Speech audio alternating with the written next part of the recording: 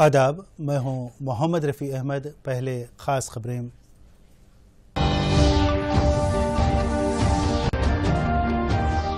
वज़ीर अजम ने पुडुचेरी और तमिलनाडु का किया दौरा। चंद तरक्याती प्रोग्रामों का किया इफ्तिताह। कोयम्बतूर में बीजेपी रैली से किया खिताब। तमिलनाडु की हमाजहत तरक्की के लिए मरकज पाबंद अहद वज़ीर अजम का ऐलान। पुदुचेरी की सभी शोबों में तरक्की के लिए खसूस इकदाम करने की यकीन दहानी। मरकज ने सोशल मीडिया और ओ के ताल्लुक से जारी किए रहनुमाना खतूत, पाबंदियों की अमलावरी न करने पर सख्त कार्रवाई का इंतबा। और चीफ सेक्रेटरी सोमेश कुमार ने एडिशनल कलेक्टर्स के साथ मुनद किया जायजा इजलास, ग्राम पंचायतों और म्यूनसिपैलिटीज पर खसूसी तवज्जो की हिदायत। कोरोना के तय चौकस रहना चाहिए, हमेशा मास्क पहने, लोगों से बात करते वक्त छः फीट का फासला बरकरार रखें।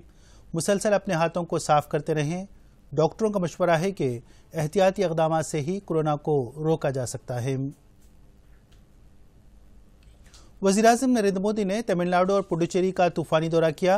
मोदी ने दोनों रियासतों में मुख्तलिफ़ तरक्याती प्रोग्राम्स का आगाज़ करने के अलावा संग बुनियाद भी रखा। उन्होंने आज दोपहर पुडुचेरी से कोयम्बतूर पहुंचकर वीडियो लिंक के ज़रिए नाईवेली में थर्मल पावर प्लांट का आगाज़ किया। इसके अलावा उन्होंने तिरपुर, मदुराई और तिरुचि में तामीर करदा चार हज़ार मकानात का भी आगाज़ किया। बाद में एक जलसेआम से खिताब करते हुए उन्होंने आज सुबह वजी अजम ने पुडुचेरी में तकरीबन तीन हज़ार करोड़ रुपये मालियती बास फलाही का रिमोट के ज़रिए भूमि पूजा की। इसके अलावा उन्होंने कारिकल की, जिपमिर की नई इमारत और पुडुचेरी में मिनी बंदरगाह का भी संग बुनियाद रखा। इस मौके पर उन्होंने खिताब करते हुए कहा कि सभी शोबों में पुडुचेरी की हम जहत तरक्की एनडीए हुकूमत का नस्बुलैन है। उन्होंने पुडुचेरी को इकतसादी तालीमी और रूहानी और सयाहती मरकज की हैसियत से तरक्की देने का यकीन दिलाया।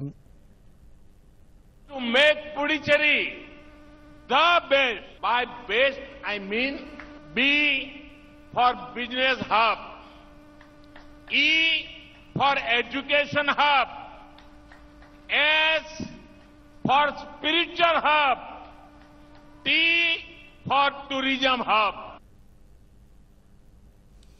मरकज ने सोशल मीडिया और डिजिटल मीडिया के ताल्लुक से नए रहनुमाना असूल और पाबंदियों का ऐलान किया है हुकूमत ने वाजे किया कि मुल्क में सोशल मीडिया के अलावा ओ टी टी जैसे दीगर डिजिटल मीडिया के मालिकीन को इन कवायद व जवाब की लाजमी तौर पर पाबंदी करनी होगी मरकजी वजरा रविशंकर प्रसाद और प्रकाश जावड़ेकर ने इंतबा देते हुए कहा कि पाबंदी न करने पर सख्त कार्रवाई की जा सकती है।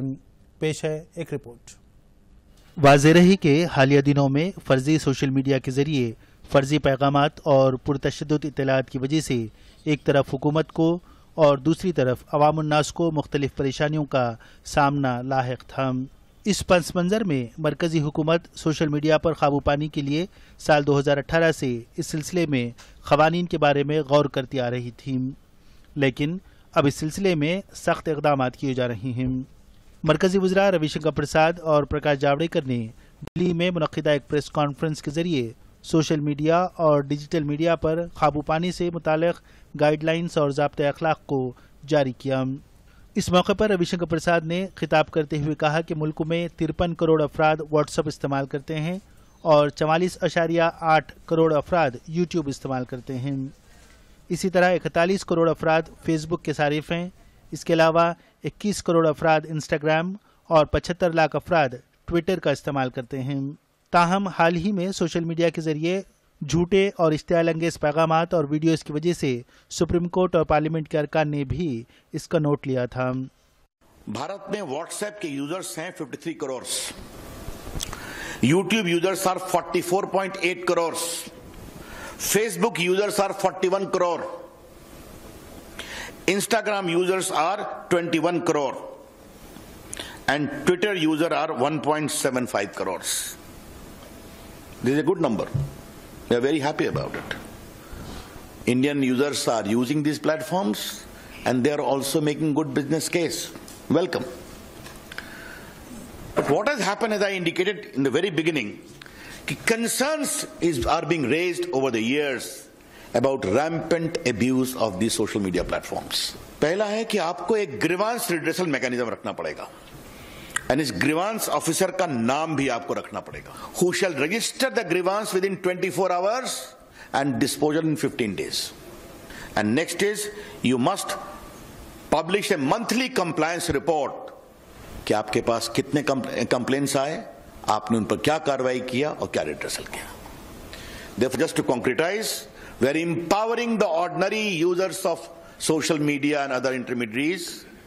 You must have a robust grievance redressal mechanism, instituting the complaint within 24 hours, redressal within 15 days. You must have a chief compliance officer for significant social media. You must have a nodal contact person. You must have a resident grievance officer, all residing in India. And you must give a monthly compliance report. मरकजी वज़ीर जावड़ेकर ने कहा कि O T T और digital media से मुतल तफसीत हुकूमत को फराहम करना होगा। इसके अलावा लाजमी तौर पर मीडिया का रजिस्ट्रेशन करवाना होगा। इसी तरह इदारे की सरगर्मियों से हुकूमत को वाकिफ करवाना होगा।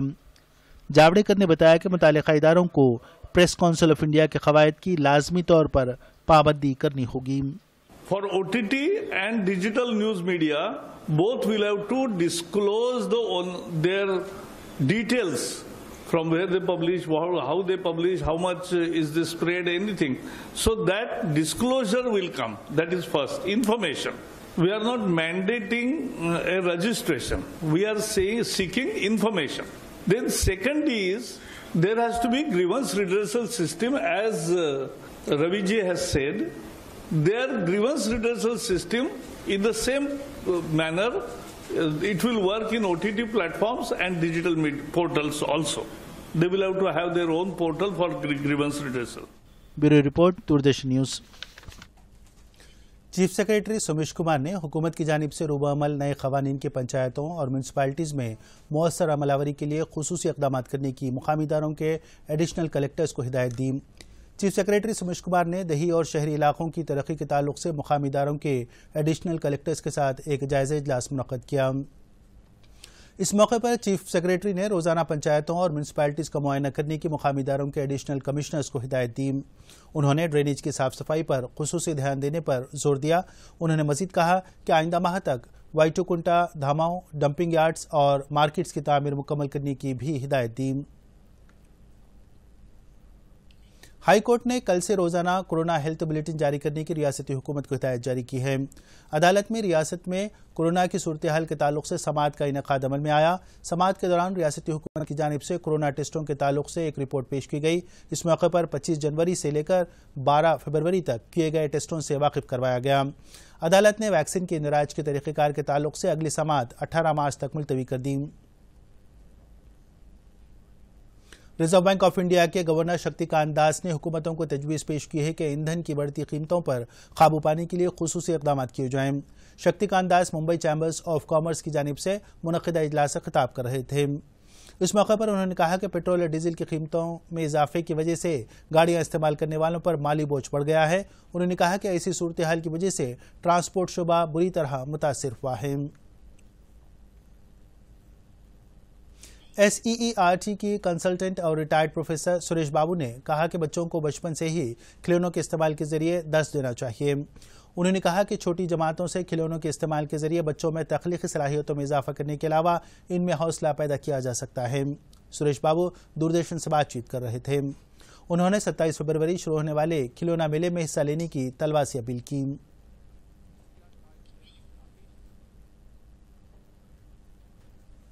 आखिर में खबरों का खुलासा, एक बार फिर। अब आप दूरदर्शन यादगिरी की खबरें सोशल मीडिया पर भी देख सकते हैं। यूट्यूब पर डीडी न्यूज़ तेलंगाना ट्विटर पर DD news Telangana at the rate D D Yadagiri news और फेसबुक पर डीडी न्यूज़ तेलंगाना का मुशाहिदा किया जा सकता है। वज़ीर अजम ने पुडुचेरी और तमिलनाडु का किया दौरा। चंद तरक्याती प्रोग्रामों का किया अफ्ताह कोयम्बतूर में बीजेपी रैली से किया खिताब। तमिलनाडु की हमाजहत तरक्की के लिए मरकज पाबंद अहद वज़ीर अजम का ऐलान। पुदुचेरी की सभी शोबों में तरक्की के लिए खसूस इकदाम करने की यकीन दहानी। मरकज ने सोशल मीडिया और ओ टी टीज़ के ताल्लुक से जारी किए रहनुमाना खतूत। पाबंदियों की अमलावरी न करने पर सख्त कार्रवाई का इंतबाह और चीफ सेक्रेटरी सोमेश कुमार ने एडिशनल कलेक्टर्स के साथ मुनद किया जायजे इजलास, ग्राम पंचायतों और म्यूनसिपैलिटीज पर खसूसी तवज्जो की हिदायत।